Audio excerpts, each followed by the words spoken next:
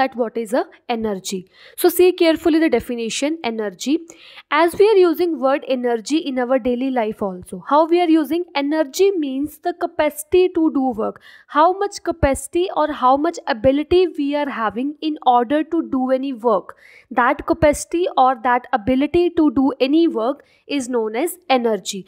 Means if i am having energy to lift up this heavy box then this ability or capacity to do work is nothing but a energy. Or if i am having capacity to push or pull this heavy load that is nothing but a energy. So anything whatever we are doing if we are having capacity to do that work that is nothing but a energy we are having. Okay